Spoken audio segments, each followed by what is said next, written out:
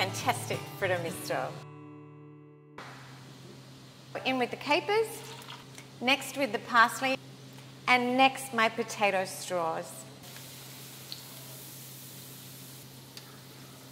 And these will only take a minute or so.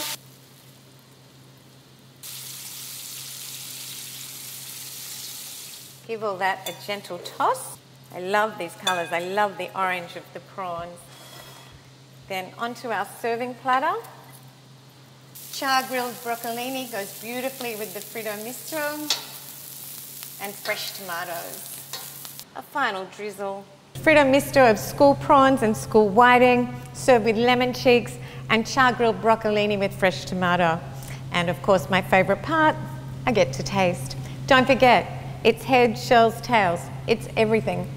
Enjoy. Mmm. Fantastic. Mmm.